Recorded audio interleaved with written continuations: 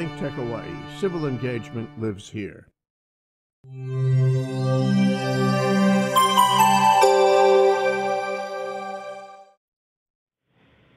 Welcome to Asia in Review. I'm your host, Bill Sharp. Our show today uh, covers Taiwan's defense, uh, uh, Taiwan's relationship to the United Nations, and the role of the Presbyterian Church in Taiwan. And my guest is Dr. Michael Tsai, former defense minister of Taiwan, uh, who also is uh, very actively participating in an organization promoting Taiwan's admission to the UN. Uh, in addition, he is an important figure in the Taiwan Presbyterian Church. So we're so glad to have him with us. He's joining us via telephone from Taipei, Taiwan. Welcome to Asia in Review. It's great to have you with us. Hi, Bill. Uh, I'm Michael Tsai, uh, and also the friends in Hawaii. Had a good day. That's great. That's great. I'm sure they'll yes. appreciate that. Um, well, we have a lot to cover here, so let's get right at it. Um, Taiwan's defense budget.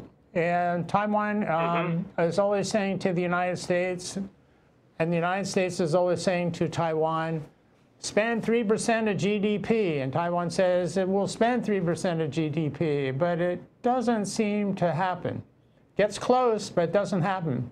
So what's, what's the problem? What's the problem on meeting this 3% of GDP in the defense budget? All right. I think it is, it is a problem, as you mentioned. Uh, now, Taiwan national defense budget for the last uh, three to five years uh, uh, we are uh, the uh, total budget is about the 100 million US dollars. That's equivalent about the uh, less than 2% of the GDP of Taiwan. Uh, this is the uh, that we expected. The reason we cannot reach the 3%, we would like to have 3% of our Taiwan's national GDP as our national defense budget. But the reason is the uh, Taiwan as uh, as a democracy, uh, we have a lot of the area to cover for from the our GDP national income, including the economic development and also our contribution to the uh, to the international community. For instance, we spend the uh, uh, million and million US dollars in the contribute to the under developing country in Africa, in the uh, South Pacific nations, in the medical and the humanitarian uh, uh, relief, and also uh, contribute to the others uh, educational cultures uh, development in other countries. And also, we are developing some other area for the national welfare program, and on and on. And the um, we have a national budget. We divide into the three parts. Uh, one part, uh, 50% of our national defense budget uh, is go to the personal, uh, the personnel maintenance, and other another 50% is about the 50 million US dollars going to the maintaining the regular operation and also the new military equipment development and the investment in the research and the new and also including the uh, military procurement program from the U.S. and from other countries. We would like to have, and this is one part, the annual defense budget and also special budget for the defense. If needed, our parliament would, and also our government with the would contribute another uh, probably uh, uh, another 10, 15, 20 million US dollars for the special budget. For instance, in the 19 in the 20 2004. Uh, our parliament, uh, our Congress approved the special budget to buy the uh, to buy the the the the, the submarines and mm-hmm. also by the PAC-3 uh, mm-hmm. missile, mm-hmm. Uh, and also by the P-3C, which would uh, provided by the United States Pentagon and also White House approval. But this the the the PAC-3 the the the missile program has been materialized. So the P P3C, the uh, uh, also uh, we have the uh, purchased, but the submarine had not been materialized, did not purchased because of the uh, uh, we we allot we allocated some of the special budget, uh, but the U.S. would not give us the, the diesel powered the aid submarine, so that the although we have only less than 2% of our national GDP for the national defense budget, but we are prepared, as the government promised, that the, if needed, uh, we will allocate another uh, probably uh, uh quarter of the quarter meaning of the U.S. Uh, dollars for mm. the special budget uh, if U.S. give us the the the military procurement program we request. I see. So this is the reason we are looking forward to have a better military cooperation with the United States if the United States would uh, would give us the uh, uh, procurement program as we requested. Ah, that's very interesting. Well, let me uh, move on to another aspect of the. It always mm seems to be this like argument going on. The United States and a lot of think tanks in the United States say Taiwan should focus on asymmetric warfare. And some go as far to say you should forget, you know, your F-16s. You should forget your um, your your indigenous fighters. You should forget mirages and just um, and you should forget major ships and just develop a uh, a porcupine force. In other words, a force that's strong enough to repel mainland China if it ever should land on the shores of Taiwan, and by extension, leave the so-called heavy fighting to the United States. Um, but there seems to be a lot of opposition to that within the Taiwan military. The Taiwan military might say on one hand, well, this porcupine defense is okay, that's a, not a bad idea, but it has to go along with a full defense. We want our fighters, we want our major ships. We want to be able to meet the enemy, being, meaning China, head on, rather than waiting for Taiwan to come to us. And in this sense, in this way, we also reduce dependence on the United States. So where do you stand on that argument, the asymmetric argument versus the, how should we call it, the full fighting force argument? Well, I think uh, uh, not only my personal position, but I, I believe this entire the uh, National Defense Ministry now. We are under the strong uh, uh, China's uh, military threat against Taiwan. And the, we're not going to compete with China's uh, military investment and their very, very offensive uh, approach, uh, take over the Taiwan. Therefore, for the last five or ten years, uh, Taiwan, we have developed the uh, we call the very, very efficient deterred, uh, deterrent approach. we developed the some of the short range even the medium medium range of the missile mm. uh, to in order to intercept uh, or deter China from taking further aggressive actions. Uh, we can uh, uh, we can, that's kind of short range or medium range of the uh, of the missile we have developed. We have already employed those, such kind of short range of the missile on the boat on the ships and also air, air, the air fighting jet. Uh, therefore, at least we can uh, we can depend on ourselves uh, at least to fight the uh, PLA uh, People Liberation Army. Uh, their their ship, their military jet or, or military ships.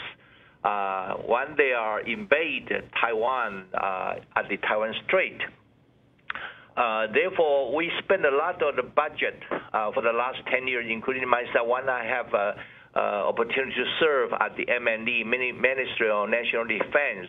Uh, we have uh, spent a lot of not only the uh, missile, but also in the um, unmanned aircraft, and also we have a lot of the the we call the the multiple attacking uh, gun or missile. Mm. Uh, we employ this on, across the our uh, national coastal area uh, to to to uh, to tackle uh, to attack the China ships if they are if they are if they are crossing our shore.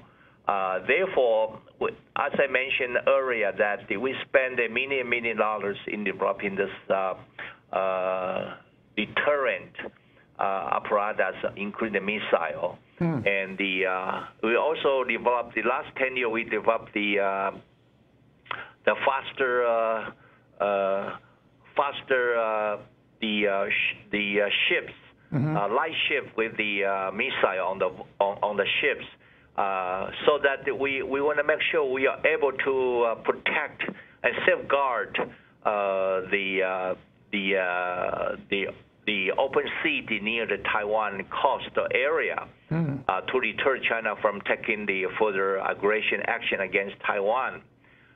this is in our part. we are not dependent on the traditional head-on the uh, army against army and the navy against navy. No, uh, we know we are not the uh, we are not competing with them. Particularly between Taiwan and China, they have about 200 miles, uh, 200 uh, I'm sorry, 200 kilometers. Mm. the open water Taiwan Strait. Therefore, if the China were to take the traditional army force against Taiwan, I think China they, they have to think in twice because they had to uh, they had to cross the 200 kilometers uh, uh, water. is hard for them. Right. Therefore, we we emphasize much for the last 10, 15 years. Uh, how to in our navy uh, and the air force cap- capability to uh, to deter or even to confront with them uh, if they cross the middle line of Taiwan uh, Taiwan Strait. I think we are with certain degree of confidence to deter China from taking this traditional action. And also, on the other hand, we need the United States and also Japan support. Uh, we call the collective uh, regional security cooperation. Because China, when they attack the, the uh, attack Taiwan, even attack the Japan and Okinawa area, uh, we have to have a concerted effort together uh, between Taiwan and Japan, uh, of course, in including the United States together to to deter China from taking further the aggression. And this is the reason why the United, when the United States, uh, we're not going to depend on the China 100%, but uh, we are depend on ourselves, on self-defense capability to deter China. Uh, but also, I think uh, we need the United States and Japan take a concerted effort uh, to deter China from taking the uh, such kind of offensive, China's offensive uh, uh, the action uh, in that Asia Pacific area. Okay, good. Well, um, this might be just a little bit early here, but let's take a break and we'll come back in one minute and we'll continue with our interview. We'll go on and talk about the United Nations. You're watching Asia in Review. I'm your host, Bill Sharp. My guest today is Dr. Michael Tsai, former Defense Minister of Taiwan. He's joining us via telephone from uh, Taipei, Taiwan. And we'll be back in one minute. 皆さんこんにちは。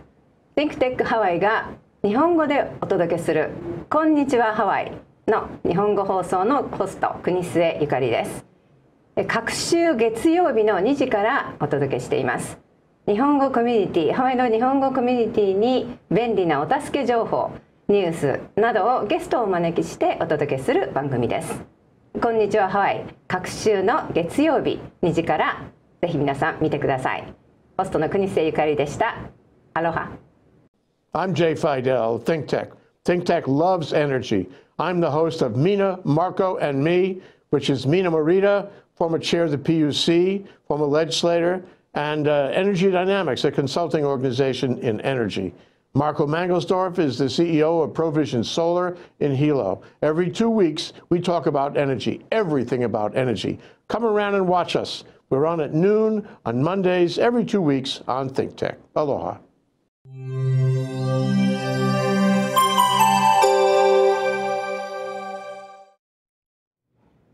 Welcome back to Asia in Review. I'm your host, Bill Sharp. My guest today is Dr. Michael Tsai, former Defense Minister of Taiwan. He's joining us via telephone from Taipei, Taiwan. We um, in the first part of the show, we talked about Taiwan defense issues. We want to move on and talk about uh, Taiwan's relationship to the United Nations.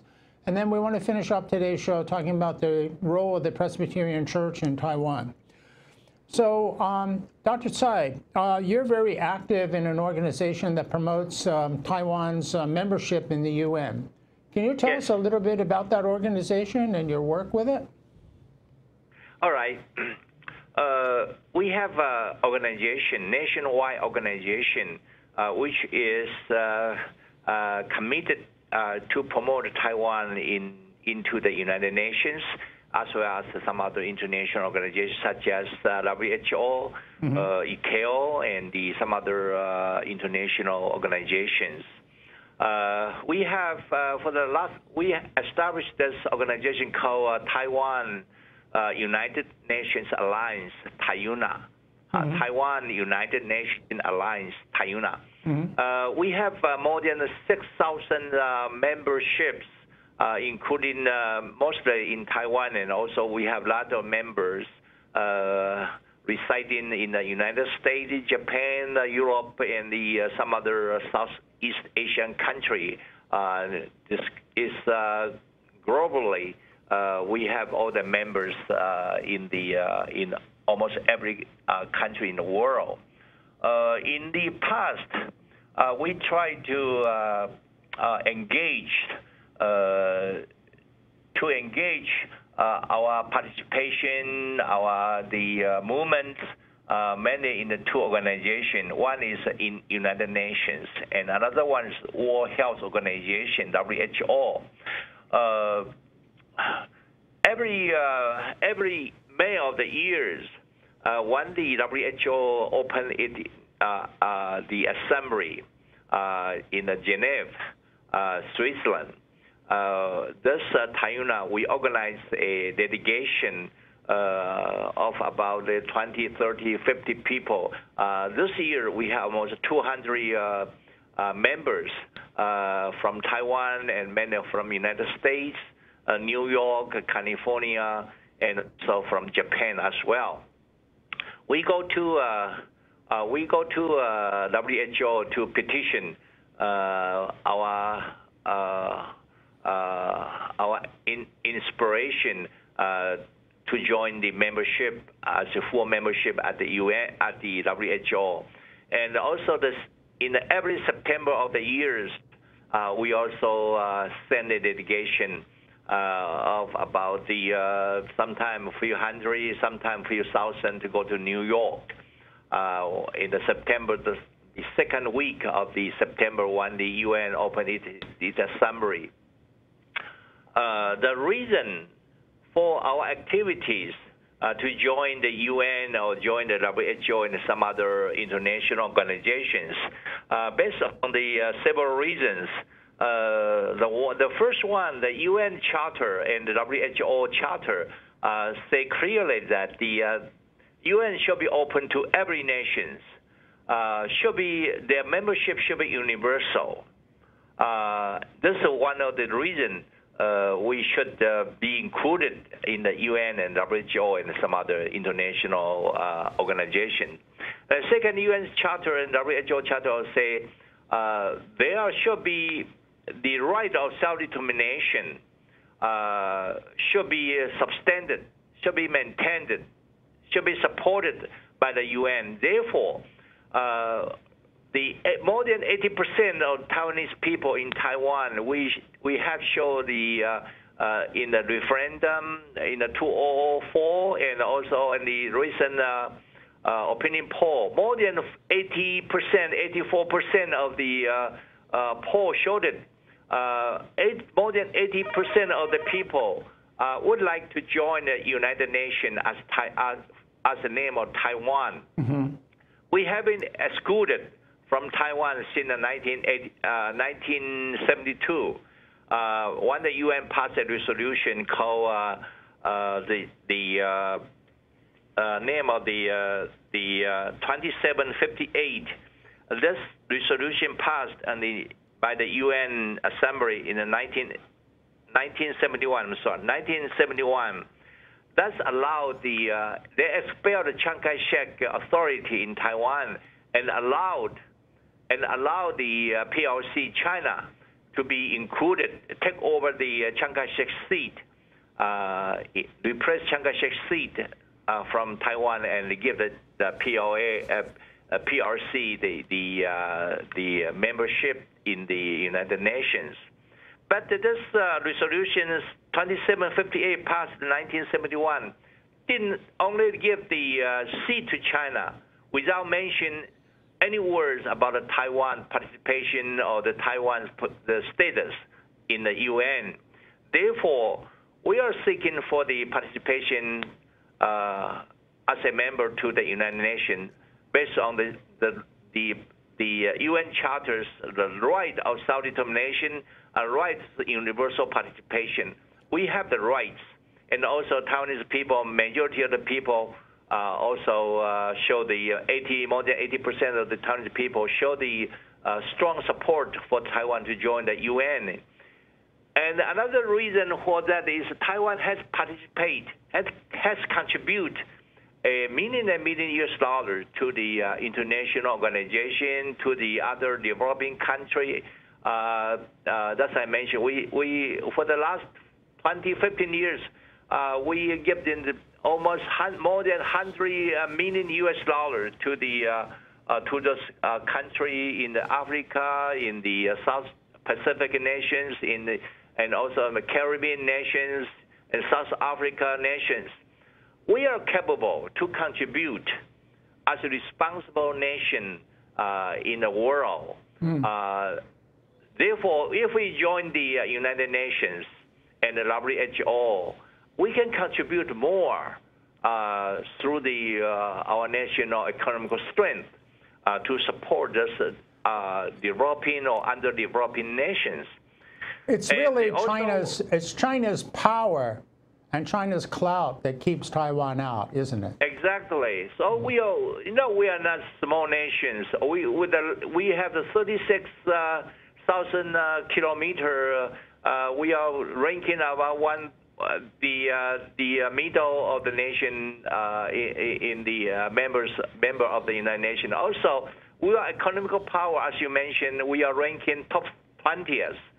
Therefore, we are capable. We are, if we are allowed to join the UN, we can contribute more uh, through the UN's uh, the uh, sponsorship. Uh, and this is one of the reasons. And the second is the um, if we contribute, if we become a member of the United I believe we can maintain, uh, we can uh, we can support the UN mission or peace peacekeeping force and we can uh, make sure that the uh, we can maintain a peace and stability in the uh, Asian uh, Pacific area. Good. You know, the only obstacle, only obstacles is from China. Right. We're sort of running China out of time here. Taiwan is a part. Yes. We're, we're, our time is winding down here, and I want to get to the Presbyterian Church in Taiwan because that's such an important political force, and you're very closely involved with that church. I, I agree. Yes. Why is the Presbyterian Church so politically powerful in Taiwan?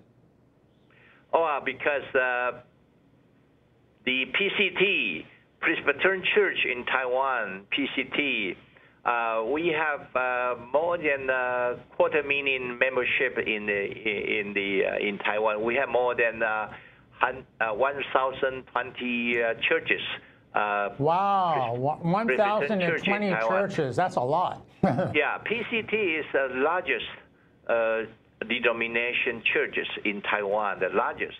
is it bigger than the uh, Buddhists? I say again? Is the PCP, the, the Presbyterian Church of Taiwan, is it bigger than the Buddhists? Does it have more followers than Buddhists? Than the uh, Buddhists? no, the Buddhists is, I think the, uh, the we call the uh, local uh, religions, uh, there are much much more members than the PCT. Mm-hmm. But the, in the Christianity, PCT is the largest uh, denomination uh, in Taiwan. Mm. Uh, the reason why this PCT is so powerful and so influential reason is the PCT. They are they are they have strong grassroots churches and mm. and the movement uh, they support the Taiwan independent movement. In the 1970s, the uh, PCT issued the uh, the uh, Human Rights Declaration, which uh, in this uh, Human Rights Declaration, PCT committed to support it, Taiwan become a new and independent country, which has been supported by majority people in Taiwan, including the non-PC, non-PCT uh, the regions and also uh, in Taiwan, uh, more than uh, 70 or 80 percent of the population in Taiwan, they believe they believe that Taiwan should be should become a new and independent nation, uh, separate from China. Uh, they like to be Taiwan be a free and democratic uh, with the uh, respect of human rights and that has been supported by the overwhelming majority of people in Taiwan and the PCT support, and it's very important part, uh, influential uh, part in this kind of independent grassroots movement in Taiwan. And this is the reason why PCT had, for instance, a week ago, uh, a week ago, more than uh, 300 uh, PCTM pastors or ministers participate the uh, assembly uh, or the uh, the movement we call the uh, and the in the uh, assembly the uh, uh, held at the uh, city heart the heart of Taipei city and the thousand and thousand Presbyterian church member uh, joined this uh, movement assembly. This this this is one of the example why PCT has so powerful and so respectful uh, by the uh, from the uh, grassroots movement in Taiwan. And I believe and I Okay, Michael, we're down to Taiwan- one minute here, so we, we have to wind it up pretty soon. I just was told we have one minute left. Hmm. All right. Therefore, I think uh, the PCT is a very powerful, respectful uh, uh, the religious uh, the organization. They will continuously uh, inspire the, uh, the Taiwanese people and inspire the uh, uh, well well wishes uh, people around the world. Okay, that's good. That's really good. Uh, well, we covered a lot of ground today. We talked about defense issues. We talked about Taiwan's relationship to the UN. We talked about the Presbyterian Church of Taiwan, and we did all of that in 30 minutes. That's really pretty good. I think we can pat ourselves on the back for that. So I want to thank you very much for joining me today from Taiwan, and I want to thank you and our audience for watching. And um, join me next week when my um, guest will be an old friend of Asia in Review, Dr. Jerome Keating. We'll see you then.